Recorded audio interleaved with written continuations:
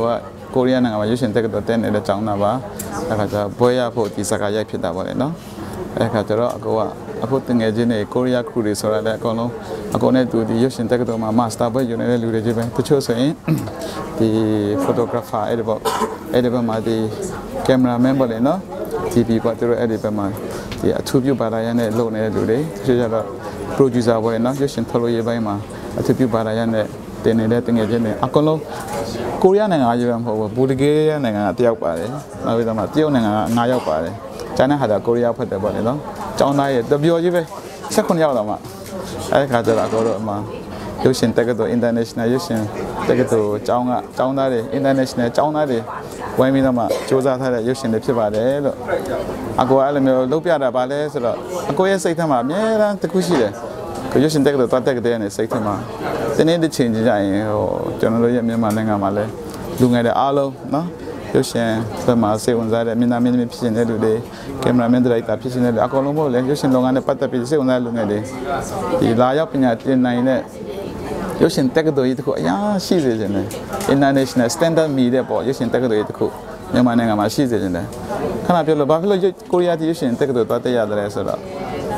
အာညီမလေးတော့ညီလေးတို့တည်တဲ့အတိုင်းပဲနော်အခု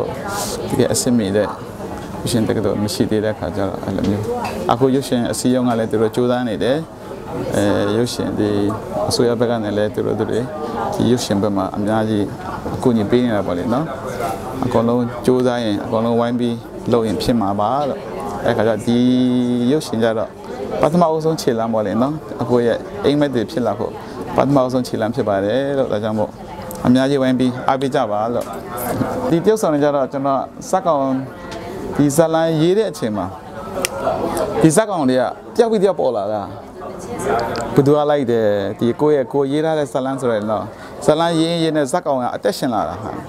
အသက်ရှင်လာတဲ့ခါကျတော့အော်ဒီဇက်ကောင်ကလိုက်တယ်ဒီဇက်ကောင်ကလိုက်တယ်ဆိုအကုန်လုံးပေါ်လာတဲ့ခါကျ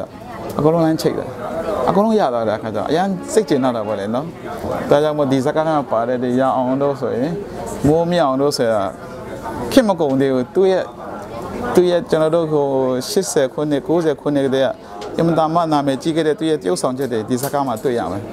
။အဲ့ဒါနောက်ကဒီဒီခဏကျွန်တော်ရဲ့ရုပ်ရှင်ဥက္ကဋ္ဌကြီးအကိုကြီးစင်ဝိုင်းတို့လည်းနောက်ပြီးတော့မှဒီကိုရန်လေးတို့လည်းဒီစကားမှာတမှုထူးခြားတဲ့ စာရုပ်တွေနဲ့တွေ့ရမှာပါလို့အာဒီစကားကိုပြင်ဆင်လာကြတနစ်ခွဲလောက်ကြာတယ်တနစ်ခွဲလောက်ကြာတယ်အထူးသဖြင့်တော့ရုပ်ရှင်စကားရိုက်ဖို့ကဇလန်ကအတက်ပဲလေနော်အဲဒါဇလန်ကကျွန်တော်တကယ်ကိုဒီအချိန်ယူပြီးတော့မှရေးတယ်တနစ်ခွဲကြအောင်ကျွန်တော်ရေးတယ်အထထအခါခါပြင်းတယ်တီးတဲ့တတ်တဲ့ကျွမ်းတဲ့ဇာညရေးစာနဲ့တိုင်ပင်တယ်သူရဲ့အကြံယူတယ်အဲ့ဒီလိုမျိုးနဲ့ပေါ့လေနော်တနစ်ခွဲကြအောင်အကတို့စီစဉ်ထားပါတယ်လို့ နောက်ဒီရိုက်တာကြတော့ဒီဒီဇင်ဘာ20နဲ့စရမယ်တပတ်ခါဒီရန်ကုန်ဒီပဝန်းကျင်မှာပဲဇလန်တည်ထားတယ်အဲ့ခါကျတော့ဒီဇန်နဝါရီ30ကြော်ကြော်လောက်ထိရိုက်မှာပေါ့လေရပောင်း25တလနေပါလောက်ပေါ့လေနော်အဲ့ဒါလောက်ဒီအချိန်ယူပြီးရိုက်မယ်လို့ဟုတ်တယ်